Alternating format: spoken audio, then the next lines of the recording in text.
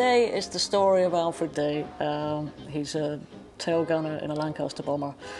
He's gone back to be a an extra, a POW in a POW movie. Um, he was a POW, and because of being on the film set, he kind of goes back through his life to his childhood, but particularly the period when he was operational, when he was with his crew, when he fell in love, when he was most alive.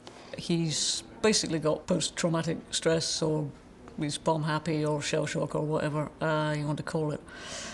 Um, so lots of things he doesn't want to remember. He doesn't want to remember most of uh, being in an air crew. Uh, doesn't want to remember everybody he knows um, dying.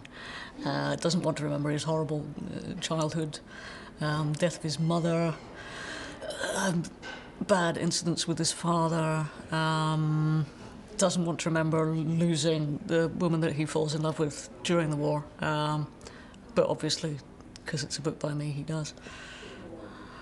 I've been interested for a long time in, in in bombing and in the idea of bombing a civilian population to, to win a war, and the idea that civilian populations can be bombed into submission, this natural assumption that they're cowards and will run away.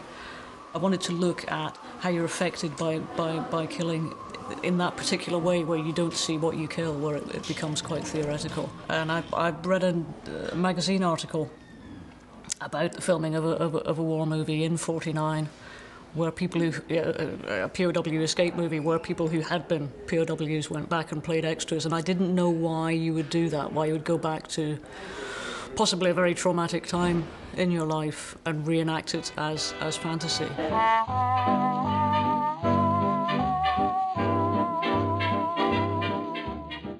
Spent three and a half years looking at objects, looking at clothes.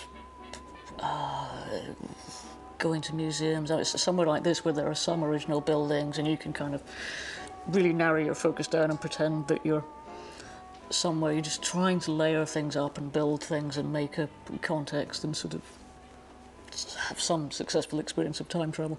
Alfred's a tail gunner, percentage-wise, probably most likely person to get killed. If your crew survived, you, you probably wouldn't because the fighters would tend to attack from the rear and take you out.